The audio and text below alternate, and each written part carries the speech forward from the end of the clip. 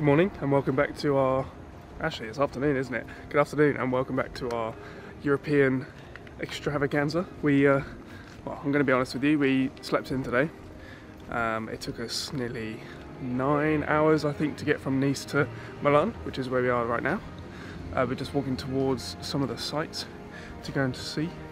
Um, one thing that Google's actually really good at is they provide you with this like if you have a 24 hour time period you can they give you this like map and it gives you all the routes you can take to go and see all these different landmarks. So they have like 24 hours 48 hours 72 hours.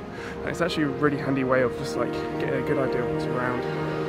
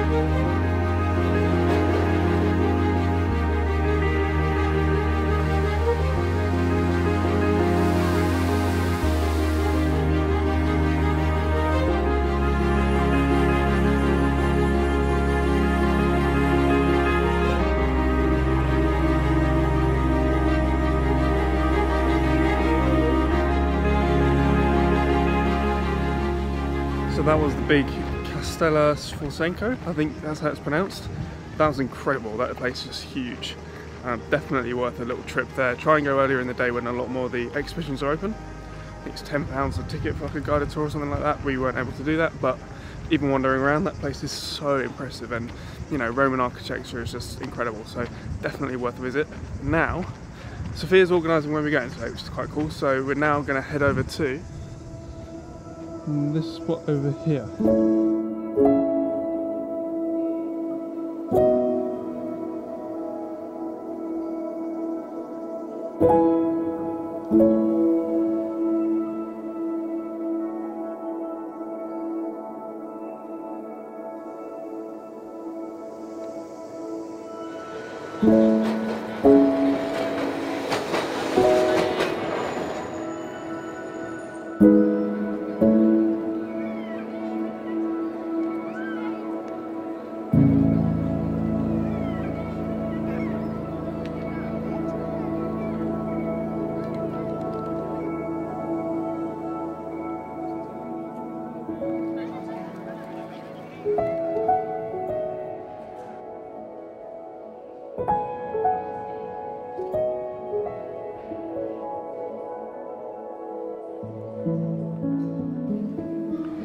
Okay, so that just about wraps up our time here in Milan.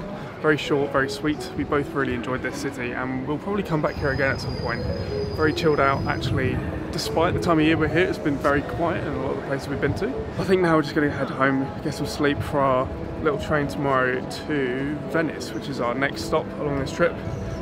And what Sophia and I were talking about earlier is that we're going to create lists of all the places that we visit in each city and we'll be able to share that with whoever's watching and whoever wants to come to these places and see all the things that we've seen. Just sort of the point of these videos is that I create sort of a more travel film uh, vlog around what we've done, where we've gone, where we want to go, and what we've experienced. And then you can come along and do the same trip. So we'll leave all of those links down in the description below each video. Um, but apart from that, thank you very much for watching, and we shall see you in Venice.